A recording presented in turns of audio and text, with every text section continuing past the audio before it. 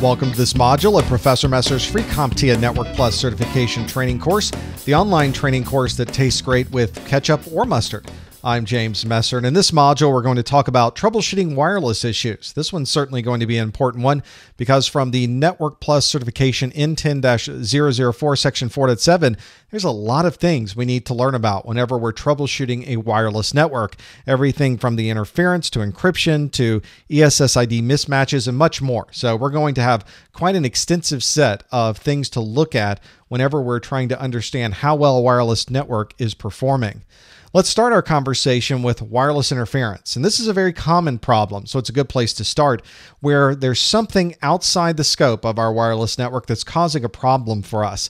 Now, wireless interference can be occasionally very predictable. If we turn on a microwave oven, you may find that we're getting a lot of interference. If somebody has a cordless telephone running at 2.4 gigahertz, you may recognize that that's the same frequencies that wireless networks might use.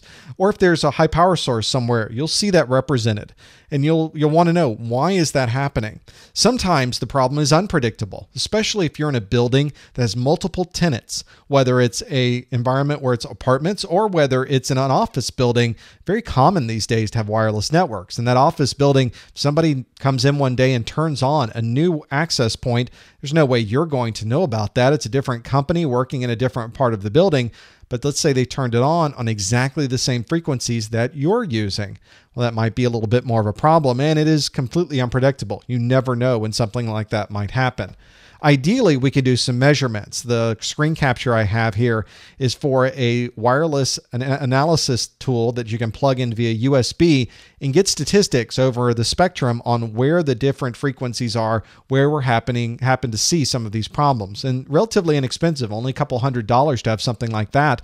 If you'd like to check on your local workstation if you're seeing physical errors, you could look uh, netstat-e will give you some of those errors.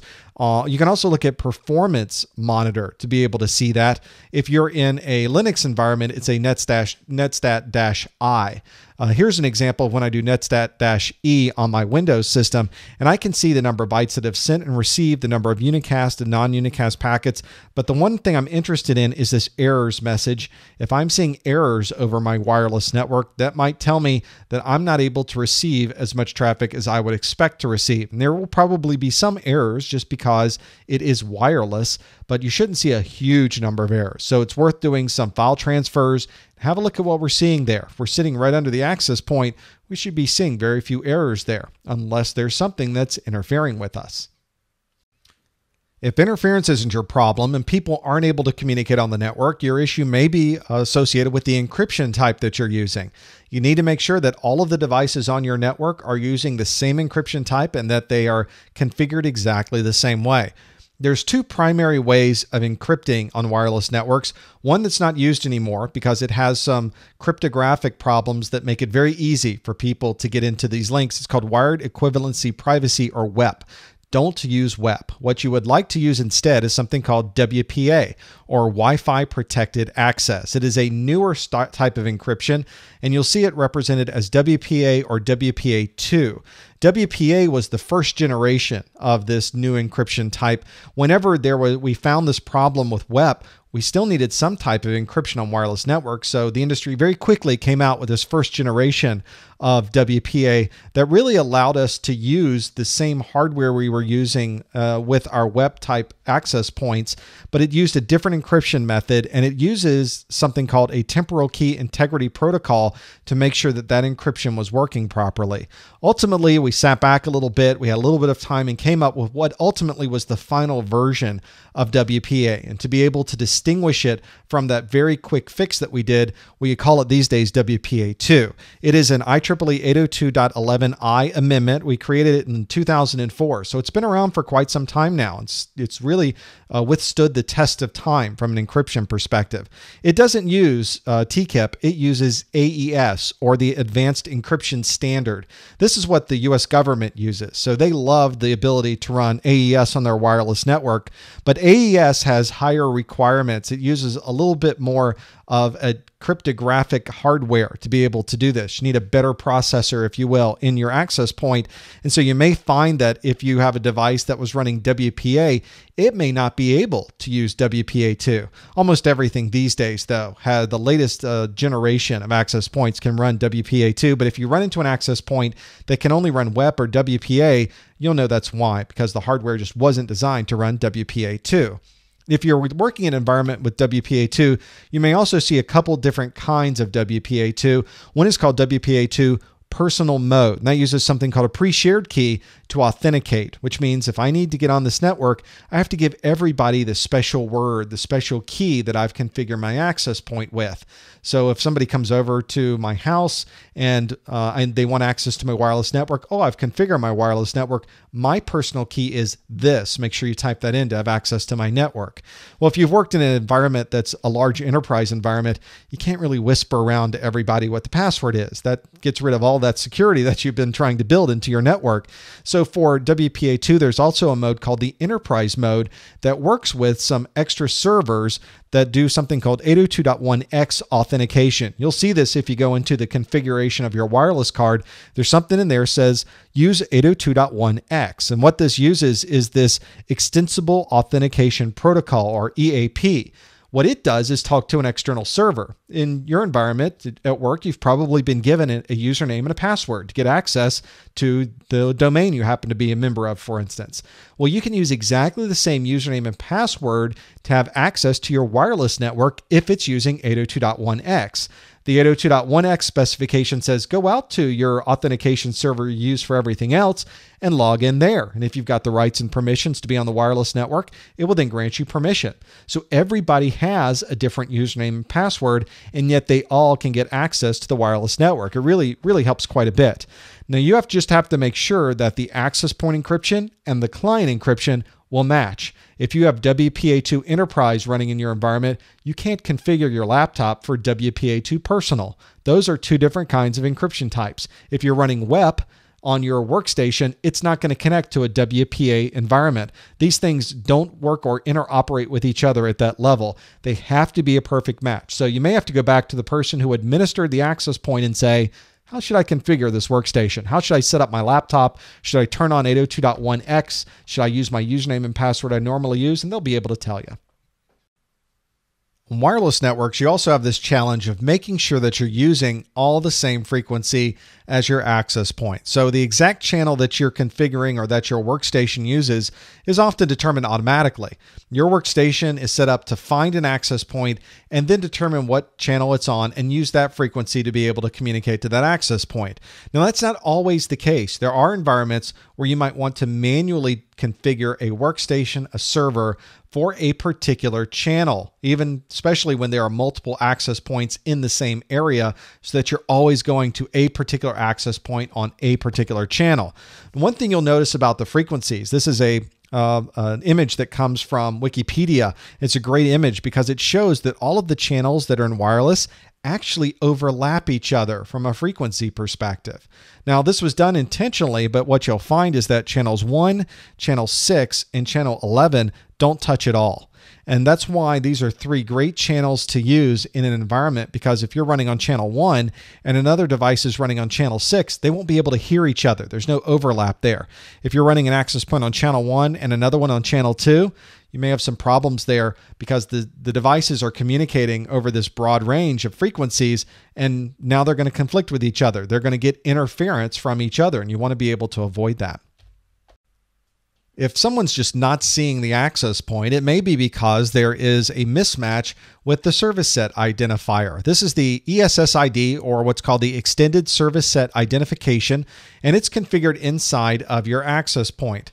The access point, uh, by default, most are configured to broadcast to everybody its existence. So, hi, I am access point number one, and anybody who comes inside the range of me can see that I am here and making myself available to the world. You do have the option within your access point to turn that off. Don't let anybody know you're here by default. And in that way, you have to configure your access point to disable the ESSID broadcast. Now, this is not security. Just because you're disabling the broadcast doesn't mean that's restricting anybody from using that access point. You could still get the packets of other people going to that access point. You'll find the SSID. It's very easy to do that way through the packets. So don't use this as security. Use it more of a way to provide access or awareness of the access point to a large group of people. You still need to have encryption. You still need to have authentication onto that. This is the configuration for my access point. If I would like to enable or disable my SSID broadcast, I just click a check mark or unclick a check mark, and it will stop broadcasting itself out there to the world. Wireless networks can be challenging to implement. You can have mismatches of standards. The distances are all different. And that's why I put this chart up here, which shows the four major types of wireless networks 802.11a, B, G, and N. Notice they use different frequencies, they use different throughputs. They send a different amount of traffic over that wireless network. And notice the ranges are also very different. This is an approximation of ranges for these different standards uh, settings, and they all could be different depending on how your environment is. We'll talk about that in a moment. Now, your client machines may have cards inside of them that can communicate on one or more of these standards. So you have to make sure that if you have a card that's running 802.11b and G, and your access point is G, you need to make sure that your workstation is at least configured and turned on to be able to talk over G. If it's only configured to talk over 802.11b, it'll never talk to your G access point. So make sure that your client and your access point are matched up and configured properly. Your access points as well can be configured in similar ways that might be able to support B and G at the same time. And if that's the case, make sure that everybody knows what the access point's configured for and that your workstations are configured to take advantage of how your access point is configured. Here's something you don't have to worry about too much with wired networks, and that is your signal bouncing around and being reflected off different devices. This is really something you do have to really think about for wireless networks. Now, this is not what they call EME, but it's still a bit of a problem. Uh, EME is something called Earth Moon Earth. There are amateur radio operators that will take a signal on Earth, they will bounce it off the moon, and listen to that signal somewhere else on Earth. It's very common to do. It's very easy to bounce a, a wireless signal with very very basic equipment. You don't need a lot of big dishes a very simple antenna and some simple radio equipment can bounce it off the moon. So if i can bounce signals off the moon imagine how the signals are bouncing around inside of your work environment with all your metal filing cabinets and concrete walls and a lot of other things usually access points will have multiple antennas on them and the reason they have multiple antennas is because they can determine where a signal's coming from the strongest it's sort of like why you have two ears if you had more than more than two ears, it would be even better for you. But the idea is you can tell where a signal's coming from. You can turn your head to wherever that signal's coming from. If you're hearing a signal bounce, if there's an echo behind you, you could still know, oh, that's a that's a bounce. It's a weaker signal. The main signal is coming from the direction right in front of me. And the way you're able to do that is because you have two ears on your head. So very similar situation. The access point has more two antennas or more, and it knows where the signal's coming from. It cleans things up using digital signal processing inside. There's some circuitry and some software that will clean up the signal, a lot like your brain cleans up the signal of an echo, so that you don't have to resend that traffic out over the network. It's really ingenious in the way that operates. And the idea is that you're going to have reflection no matter what you do. There's going to be signals bouncing around everywhere off copiers and, and metal filing cabinets. It's hard to change those things. You can't really move the copier very easily. You can't really change the layout of your building very easily. So it's nice that your access points are configured to automatically handle a lot of these situations.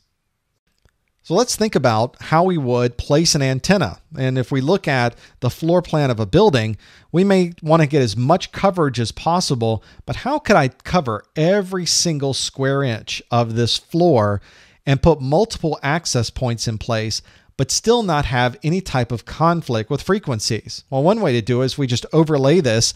I can have access points all up in my ceiling at different areas. Notice I'm overlapping just a little bit with these areas so that if there is a little attenuation or things that are blocking some of the signal, I'll at least be able to have a little overlap.